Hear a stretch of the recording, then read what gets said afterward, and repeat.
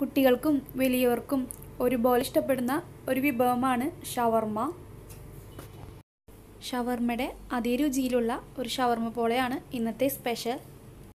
അതിലേക്ക് ചിക്കൻ ആദ്യം ഒന്ന് ഫ്രൈ ചെയ്തെടുക്കണം. അതിനുവേണ്ടി മസാല പുരട്ടി വെക്കാം. ഇതിലേക്ക് വേണ്ട സാധനങ്ങൾ എന്തെല്ലാം നോക്കാം. അരക്കപ്പ് നിറയെ ബോൺലെസ് ചിക്കൻ എടുത്തു വെച്ചിട്ടുണ്ട്. ഒരു ടീസ്പൂൺ കാശ്മീരി മുളക് പൊടി എടുത്തു വെച്ചിട്ടുണ്ട്.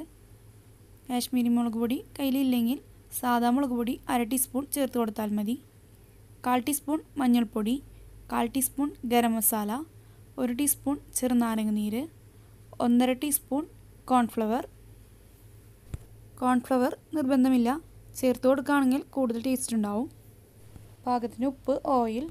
ഒരു ബൗളെടുത്ത് ഇതിലേക്ക് ചിക്കൻ കോൺഫ്ലവർ മുളക് പൊടി മഞ്ഞൾപ്പൊടി ഗരം മസാല ചെറുനാരങ്ങ നീര് ഉപ്പ് എല്ലാം ചേർത്ത് നന്നായി ഒന്ന് മിക്സ് ചെയ്തെടുക്കാം. ഒരു മിനിറ്റ് ഒന്ന് മിക്സ് ചെയ്തെടുക്കാം. മിനിമം പത്ത് മിനിറ്റെങ്കിലും റെസ്റ്റ് ചെയ്യാൻ വെക്കണം. ഇതിലേക്ക് കുറച്ച് വെജിറ്റബിൾസ് കട്ട് ചെയ്ത് വെച്ചിട്ടുണ്ട്. ഒരു മീഡിയം സവാള എടുത്ത് ചെറുതായി കട്ട് ചെയ്ത് വെച്ചിട്ടുണ്ട്. ചെറിയ ക്യാരറ്റ് ചെറുതായി കട്ട് ചെയ്ത് വെച്ചിട്ടുണ്ട്. രണ്ട് പിടി ക്യാബേജ് കട്ട് ചെയ്ത് വെച്ചിട്ടുണ്ട്. ഒരു ചെറിയ തക്കാളി കട്ട് ചെയ്ത് വെച്ചിട്ടുണ്ട്.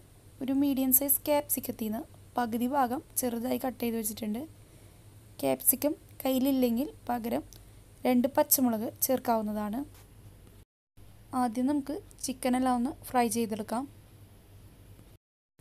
ഒരു പാൻ വെച്ച് കൊടുത്ത് ചൂടാകുമ്പോൾ ഓയിൽ ചേർത്ത് കൊടുക്കാം.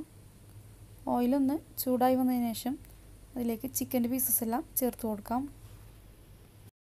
ലോ ടു മീഡിയം ഫ്ലെയിമിൽ വെച്ച് ചിക്കന്റെ പീസസ് എല്ലാം ചെറുതായൊന്ന് ഫ്രൈ ചെയ്തെടുക്കാം.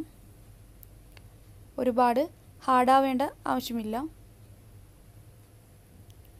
അപ്പോൾ ചിക്കന്റെ പീസസ് എല്ലാം ഫ്രൈ ആയി വന്നിട്ടുണ്ട്. നമുക്കിതൊരു പ്ലേറ്റിലേക്ക് മാറ്റാം.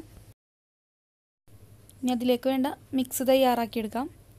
അതിനുവേണ്ടി ഒരു മിക്സിയുടെ ജാറെടുത്ത് ഇതിലേക്ക് നാല് മുട്ട പൊട്ടി ചേർക്കാം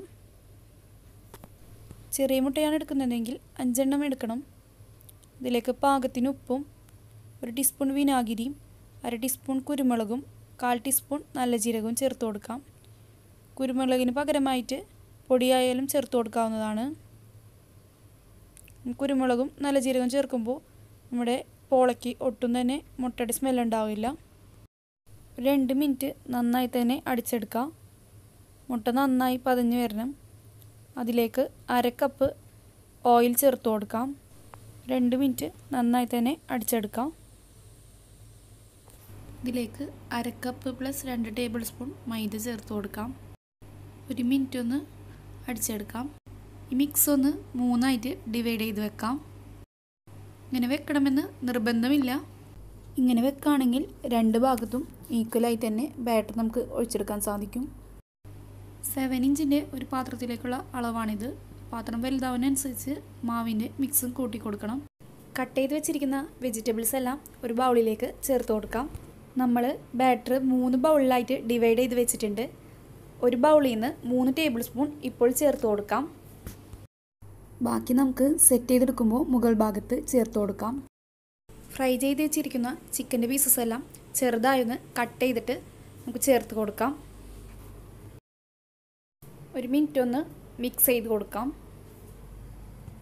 നമ്മൾ ഒഴിച്ചു വെച്ച ബാറ്ററും ചിക്കന്റെ പീസസും വെജിറ്റബിൾസിന്റെ എല്ലാ വശത്തും എത്തുന്ന രീതിയിൽ മിക്സ് ചെയ്ത് കൊടുക്കാം.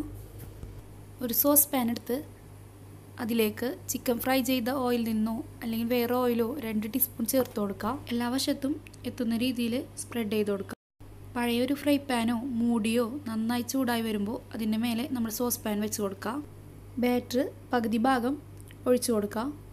അതിന്റെ മുകളിൽ നമ്മുടെ ഷവർമയുടെ മിക്സ് വെച്ച് കൊടുക്കാം. എല്ലാ വശത്തും എത്തുന്ന രീതിയിൽ വെച്ച് കൊടുക്കാം. ഇതിന്റെ മുകളിലേക്ക് നമ്മൾ എടുത്ത് വെച്ചിരിക്കുന്ന ബാക്കി ബാറ്റർ കൂടി ചേർത്ത് കൊടുക്കാം. ടൈറ്റായിട്ട് കവർ ചെയ്ത് വേവിച്ചെടുക്കാം. ഇതുപോലത്തെ ഹോൾ ഉണ്ടെങ്കിൽ ടിഷ്യൂ വെച്ചോ ഫോയിൽ വെച്ചോ അടച്ചു കൊടുക്കാം. ഒരു ഇരുപത്തഞ്ച് മിനിറ്റ് ലോ ഫ്ലെയിമിൽ കുക്ക് ചെയ്തെടുക്കാം. ഒരു ഇരുപത് മിനിറ്റ് കഴിയുമ്പോൾ ഒന്ന് തുറന്ന് നോക്കാം. ഒരു കത്തിയോ ഫോർക്കോ ഉപയോഗിച്ചൊന്ന് കുത്തി നോക്കാം. ഒട്ടും തന്നെ ഒട്ടിപ്പിടിച്ചിട്ടില്ലെങ്കിൽ നമ്മൾ കുക്കായിട്ടുണ്ടെന്നാണ് അർത്ഥം. ഒട്ടിപ്പിടിക്കുകയാണെങ്കിൽ ഒരു പത്ത് മിനിറ്റ് കൂടി ലോ ഫ്ലെയിമിൽ തന്നെ കുക്ക് ചെയ്തെടുക്കാം. ഇരുപത് മിനിറ്റ് കൊണ്ട് തന്നെ ഇവിടെ കറക്റ്റ് കുക്കായി കിട്ടിയിട്ടുണ്ട്. ഇനി ഇതൊരു പാനിലേക്ക് കമഴ്ത്തി കൊടുക്കാം. മുകൾ ഭാഗം ചെറുതായി ഒന്ന് ഫ്രൈ ആയി കിട്ടാൻ വേണ്ടിയാണ്. പാനിലേക്ക് കമഴ്ത്തുന്നതിന് മുമ്പ് ഒരു ടീസ്പൂൺ ഓയിലൊന്ന് പാനിൽ സ്പ്രെഡ് ചെയ്ത് കൊടുക്കണം. ലോ ഫ്ലെയിമിൽ ഒരു മിനിറ്റ് ഒന്ന് വെച്ചാൽ മതി. ഇപ്പോൾ ഷവർമ്മ പോള റെഡിയായി വന്നിട്ടുണ്ട്. എല്ലാവരും ഇനി ഷവർമ്മ എല്ലാം കഴിക്കാൻ തോന്നുമ്പോൾ ഈ രീതിയിലുള്ള ഷവർമ്മ പോള ഒന്ന് തയ്യാറാക്കി നോക്കാം. കഴിച്ച് നോക്കിയിട്ട് അഭിപ്രായങ്ങളൊക്കെ പറയാം. ചാനൽ സബ്സ്ക്രൈബ് ചെയ്യാതെ വീഡിയോ കാണുന്ന ഏതെങ്കിലും കൂട്ടുകാരുണ്ടെങ്കിൽ ഒന്ന് സബ്സ്ക്രൈബ് ചെയ്തേക്കണേ. നിങ്ങൾക്ക് ഈ വീഡിയോ ഇഷ്ടമായെങ്കിൽ ഫ്രണ്ട്സിനും ഫാമിലിക്കും ഒന്ന് ഷെയർ ചെയ്യാനും മറക്കരുത്.